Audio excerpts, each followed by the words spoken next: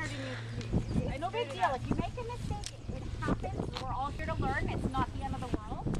But don't rush yourself to the exercise. A good rider is going to make sure that the horse is attentive and at the right pace and the right rhythm before they go to the jump. There's nothing wrong with adding an extra circle in there if you need to, if it's not 100, like what you feel is correct. Good start. Your, Genya rides her well, eh? Is that the only one that can her? No, not. Genya is my thoroughbred rider. Yeah, I'm not. Get your shoulder back. Half halt early. Shh. Yay. Correct. From half halt. Set your shoulder. Wiggle your fingers. Now whoa. And let's pull her up and halt. Lower. Love that so pony.